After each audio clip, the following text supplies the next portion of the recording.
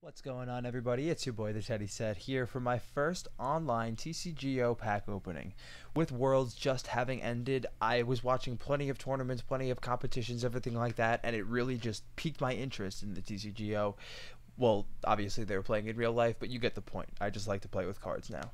So, I have all these cards from very fantastic followers of mine on Twitter, all of these pack codes, and I really love the fact that everyone is being so helpful with this because like I said, I'm just having so much fun with it. My knowledge of the TCG probably begins and ends at just like the old vintage cars and their worth. But let's give it a go.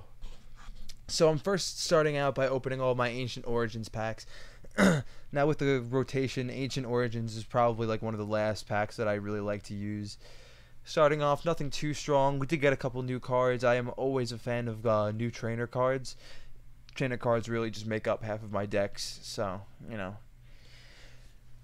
Our next pack, we're not seeing anything new on our top row. Two new ones on the bottom row, and the two rares are going to be. Oh, look at that. Giratina EX. Now, I got really, really messed up by a Giratina and uh, Darkrai EX deck the other day, and it really. I wanted to cry, to be honest. They're pretty powerful.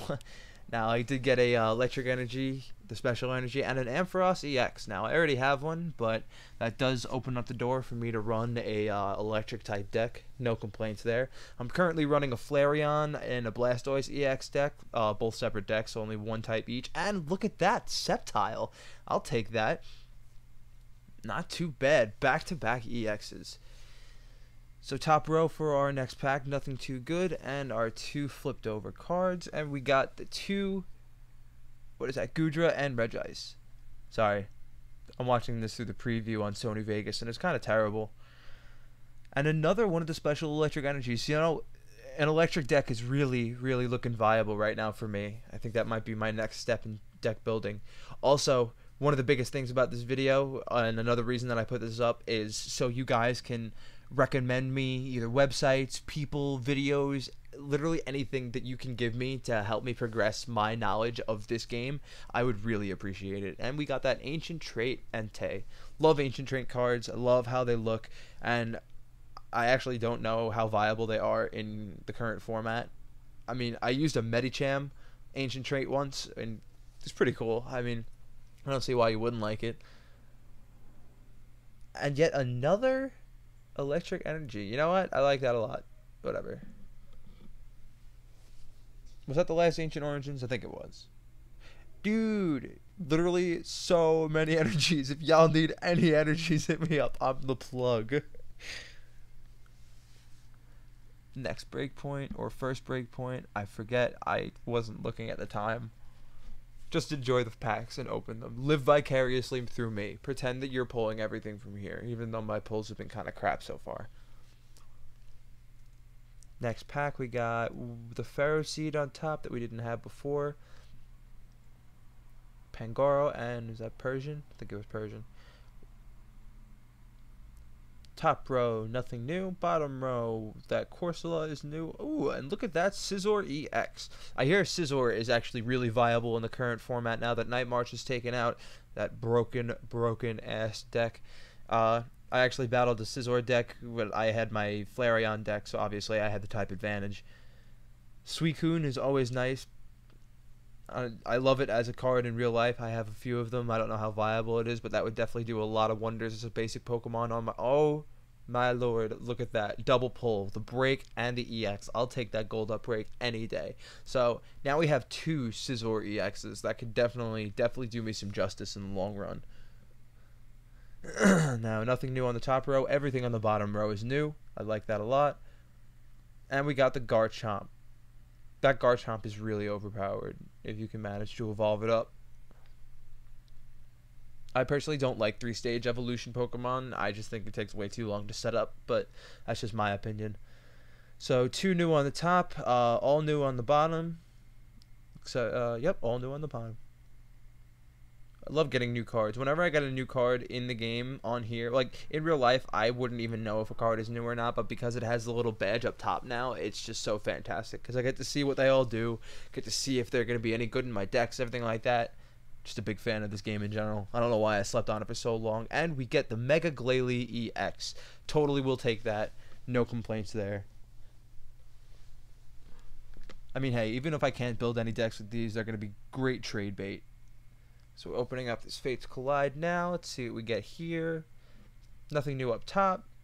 Strong Energy is new on the bottom.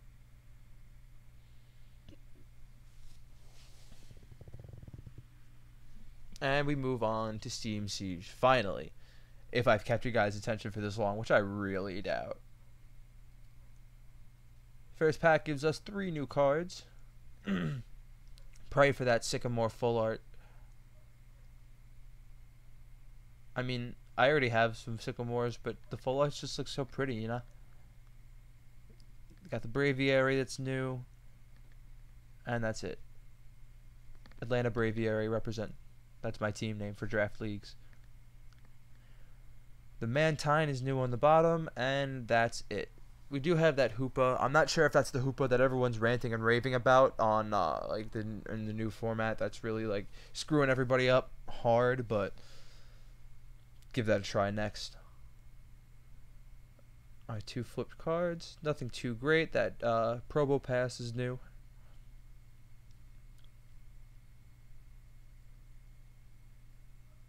Again, nothing too great. Gastrodon is new. I love that they put both of the colors of Gastrodon in there.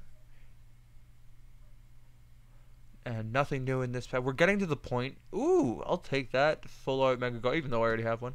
We're getting to the point in like these pack openings, like on here. I've put on, I've put in a bunch of my own codes and a bunch of other codes people have given me throughout the past like week or so. But I'm getting to the point where I don't have anything new in these packs, so I can just start trading off full packs themselves are the cards that I need, like those Shaymins, like uh, Versus Seeker, Trainer Mails, everything like that. All the good stuff. See what we get here. And look at that. Another Mega Gardevoir. Definitely will take that. I actually got really messed up by a Mega Gardevoir deck before. He had a. Uh, what was it? Some what was it called? Sky Field, something like that. Lets you have eight benched Pokemon. So Despair Ray really just royally screwed me. Was this my last pack? I couldn't tell. I didn't really take a look. I think it. Nope, one more. Yes, this is our last pack. Let's pray for something good. Come on, come on. Um, nothing. Even the Shellos gives you the different colors. I like that a lot. Bop, but it up, but it up, bop, bop, bop, bop. Cue that song from SpongeBob, like the when they put in the Krabby Patty.